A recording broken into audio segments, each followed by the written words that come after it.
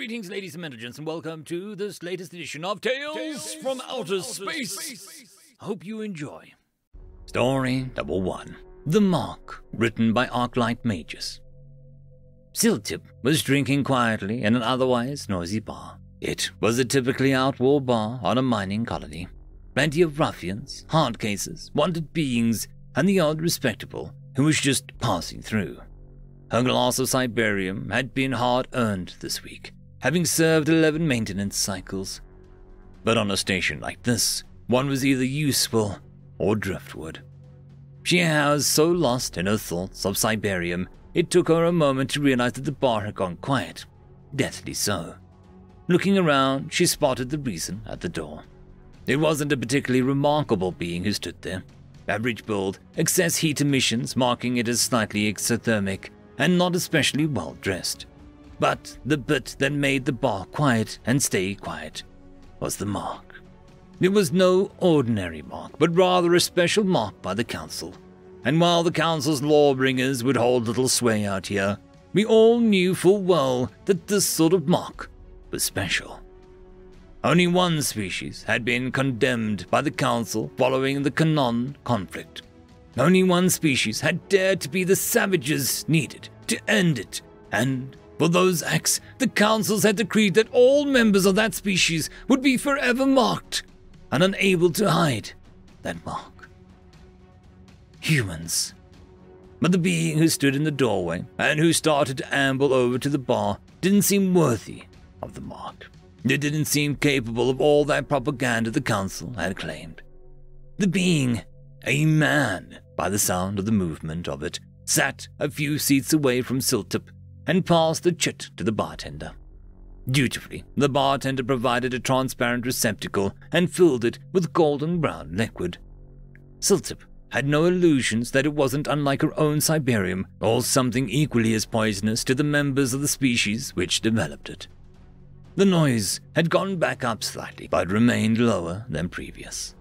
Siltip looked around, a tad worried, both at the man sitting a few seats away from her and the room at large of people looking to make the name for themselves. And getting a being with a council mark wouldn't hurt any of their reputations. Siltip didn't have to wait long, though, and while the man was hunched over the bar, as most beings did, the mark remained visible. The traces of blue emblazoned with a swath of his animal hide covering back. But here came one of them now. It was a Tigran by the name of Dractus, if memory served her. He was a local thug, one of the harder headed ones, and sadly, one of the more successful ones because of it. He had a body count in the triple digits, and a few of the local lawbringers would even dream of crossing him or trying to bring him in. Dractus didn't even give any warnings beyond these footsteps and grunts towards the human. The human seemed entirely not to notice. Dractus swung for the human's back and uh, missed. Siltip couldn't quite believe it and was having trouble seeing how it had happened, and what had happened next only confused him more. Did you slip, good being? the human asked, turning to face the Tigran, with no tone of derision or mockery that Siltip could detect. Sadly, Dractus already was halfway into the bottle of rectal and tended to get a bit blurred crazed in the fight, so the subtlety was lost in him. Dractus swung again at the human's head and missed again. This was not a sort of thing Dractus was known for, and with a speed that he was rarely known for, he recovered and swung again, heavily, sent a mass on the human, and he missed. Mostly. The receptacle of brownish fluid went flying and crashed on the floor, splattering the pooling. A look about the human's face changed significant, and from what Siltip could see, even more heat began to radiate off the human. You will replace that drink or you will die, Tigran, the human said in a calm voice. Siltip could hardly believe that the human hadn't been hit yet and was still attempting some level of reason. Many of her race would have either curled up into a protective ball or begun begging for peace. Just die! Dractus managed to spit out from his intoxicated vocal center before taking another swing at the human. And this time, Siltip and the rest of the bar it. The human snatched the Tigran's swinging manipulator and froze it in place, throwing the Tigran completely off balance. The Tigran appeared completely stuck, and the manipulator locked in place by the human's own manipulator. Dractus almost seemed to panic with this new development, but the human seemed impassive, as though this were a puzzle to be studied. And then the human thrust out their other manipulator and grasped Dractus's primary throat. And so shall I pass judgment on you, Tigran, for the crime of spilling my drink, the human said clearly and loudly for the whole bar to hear. And in a blur of motion, Dractus was on the floor, his primary throat clearly ripped completely from his body, and his juices spilling out onto the floor of the bar. The human then dropped the detached primary throat of Dractus to the floor next to the dying Tigran before looking around the bar again, as though daring any who would challenge him to do it now. But for all the hard cases, wanted beings, and fools who frequently have had too much to drink, none would challenge him. The human and the bartender shared a look and nod, and the bartender produced a second receptacle and filled it with a drink once more. The bar was almost silent as the human finished his drink and the Dractus body stiffened. As quickly and as quietly as the human had come, he'd left, the faint blue traces of the mark still showing his animal hide garment. The mark of wrath. End of story. Story number two Dove, written by Simi Loki. We welcome you. These words were left here for you. Carved ancient rock under layers of ice on this rogue world. A world that was ejected from its parent solar system before life on your own world evolved. A wanderer of the galaxy, no longer claiming any stars as its home. We leave these words behind for you because we know that by the time you discover these words and have developed the ability to decipher their meaning, then you too will be a wanderer, calling no single star your home. Yes, we know you. When you were younger and first gazed upon the stars with your telescopes, we were always looking back.